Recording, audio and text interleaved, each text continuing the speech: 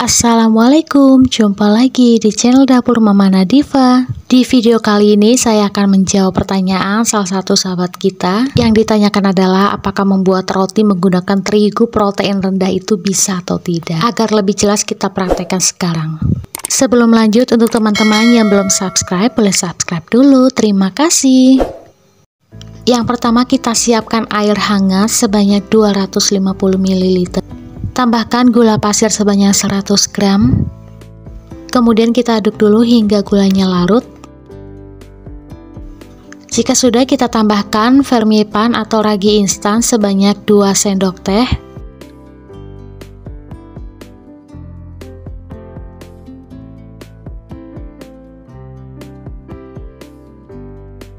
Kemudian kita aduk hingga semua bahan larut.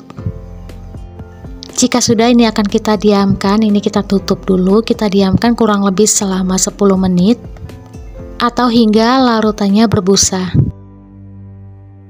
Sambil menunggu, kita siapkan dulu bahan keringnya. Untuk terigunya ini saya menggunakan kunci biru atau jenis terigu protein rendah. Sebelumnya memang saya belum pernah membuat roti menggunakan kunci biru, tapi biasanya saya menggunakan adonan bakpao menggunakan kunci biru. Oke, untuk terigunya ini saya menggunakan setengah kilo atau 500 gram ya.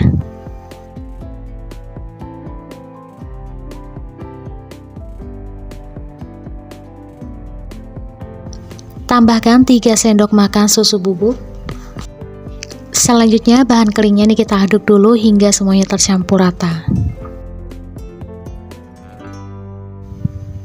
Jika sudah kita sisihkan dulu.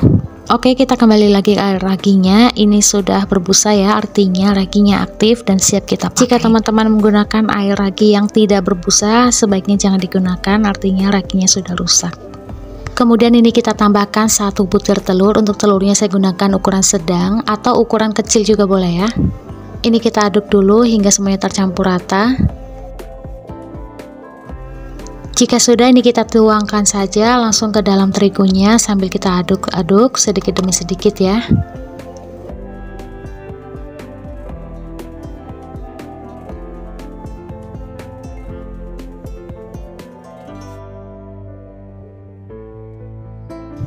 Jika sudah agak menyatu seperti ini, ini bisa kita lanjut uleni menggunakan tangan. Pastikan tangan sudah dicuci bersih ya.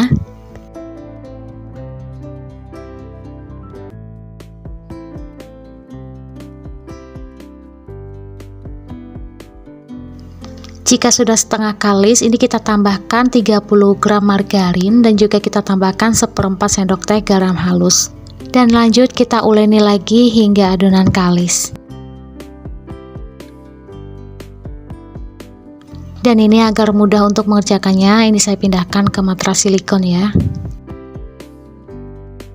Untuk pertama ini memang kelihatan terasa lengket ya, tidak apa-apa. Kita tambahkan di alasnya saja sedikit terigu, lanjut uleni lagi hingga adonan benar-benar kalis.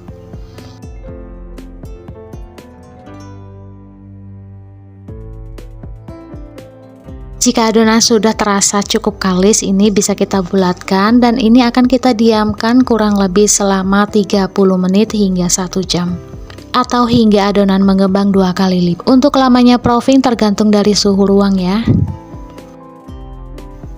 Dan ini sudah mengembang dua kali lipat. Ini adonannya bisa kita kempiskan agar udaranya keluar. Setelah di proofing ini adonan semakin elastis ya, jadi mudah untuk kita bentuk.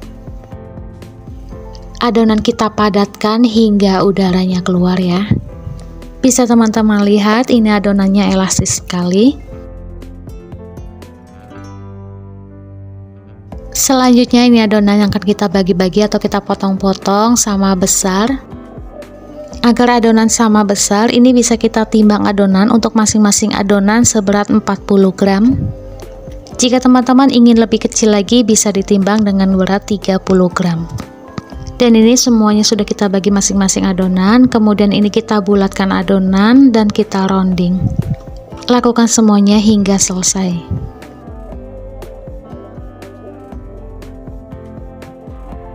Dan ini sudah kita bulatkan semuanya jadinya semuanya 23 buah ini kita tutup dulu menggunakan plastik ya agar permukaannya tidak kering. Langsung saja kita ambil satu buah adonan untuk urutan yang pertama ya. Kita gilas atau kita bentuk sesuai selera. Untuk bentuknya ini saya buat sederhana saja, tidak terlalu rumit. Dan ini kita isi menggunakan misis coklat. Untuk isiannya sesuai selera saja ya.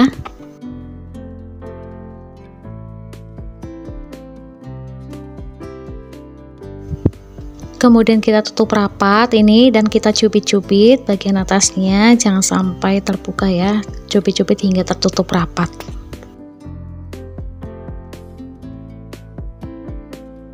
Jika sudah bisa langsung kita letakkan di atas loyang. Ini baru selesai satu loyang. Ini kita tutup dulu. Akan kita proofing ya kurang lebih selama 30 hingga 1 jam. Untuk adonan selebihnya ini kita bentuk juga untuk bentuknya, teman-teman bisa kreasikan sendiri sesuai selera.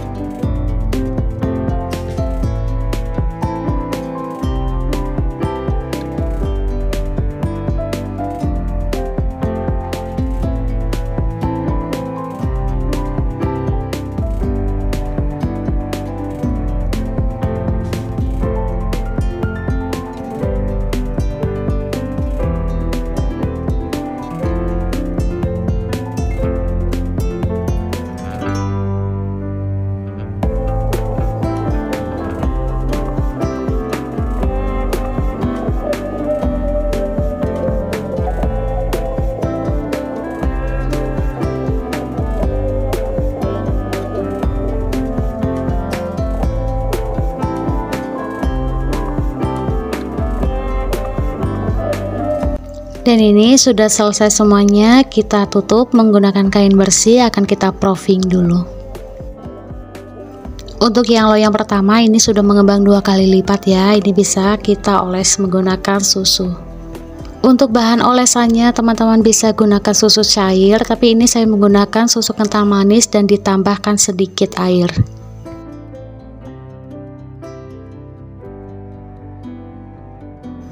Jika sudah dioles semuanya agar lebih cantik tampilannya kita beri topping. Ini saya beri topping menggunakan wijen putih. Selanjutnya ini saya beri misi coklat.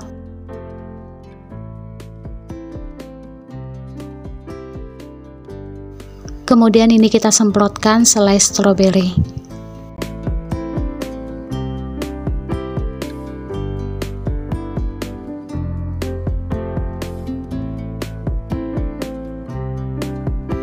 Oke, jika sudah bisa langsung kita oven. Untuk ovennya jangan lupa dipanaskan terlebih dahulu, kurang lebih selama 10 menit hingga suhunya mencapai 150 derajat Celcius. Ini kita letakkan di rak tengah ya. Oven selama 20 menit, gunakan api sedang atau suhunya mencapai 150 derajat Celcius. Dan yang terpenting, pahami oven masing-masing ya. Dan untuk lubang atasnya ini saya tutup.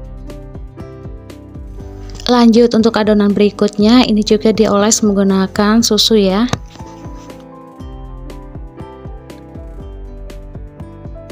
Agar lebih menarik, kita beri topping dulu.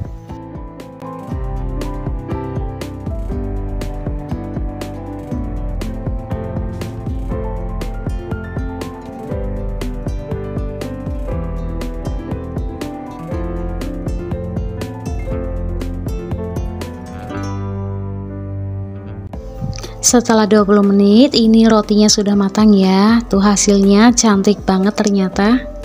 Dan selagi rotinya masih panas, ini kita oles menggunakan margarin atau boleh juga menggunakan butter agar lebih cantik dan lebih wangi lagi. Bagaimana hasilnya cantik banget ya? Oke, lanjut kita oven lagi adonan berikutnya. Untuk lamanya mengoven sama seperti tadi ya dan ini sudah matang. Nah, ini hasilnya cantik banget. Selagi masih panas, langsung saja kita oles menggunakan margarin. Dan ini roti yang terakhir ya, ini kita oven juga. Oven selama 20 menit atau hingga rotinya matang. Ini dia loyang yang terakhir sudah matang. Bagaimana teman-teman? Hasilnya cantik banget ya. Walaupun menggunakan terigu protein rendah ternyata juga bisa kita buat roti secantik ini. Jadi kesimpulannya untuk membuat roti kita bisa menggunakan terigu jenis apa saja ya. Terigu pro rendah ataupun terigu pro sedang. Jadi jika ingin membuat roti tidak harus menggunakan terigu cakra ya atau terigu protein tinggi dan ini rotinya agar lebih cantik dan juga lebih awet empuknya kita bisa kemas menggunakan plastik. Untuk plastiknya saya menggunakan plastik OPP dengan ukuran 25 x 27 cm. Oke, biar teman-teman gak penasaran, kita coba dulu rotinya, bagaimana lembutnya roti ini. Dan ternyata ini teksturnya lembut banget, Walaupun hanya menggunakan terigu protein rendah, ini ternyata cantik banget hasilnya, teksturnya lembut dan juga empuk.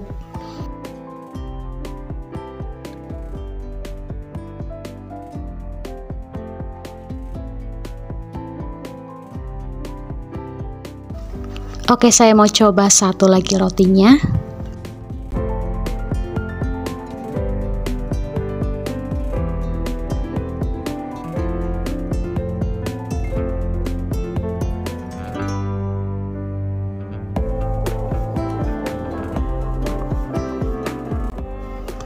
Ini beneran rotinya lembut banget. Teman-teman bisa lihat ya teksturnya ini. Serat-seratnya lembut.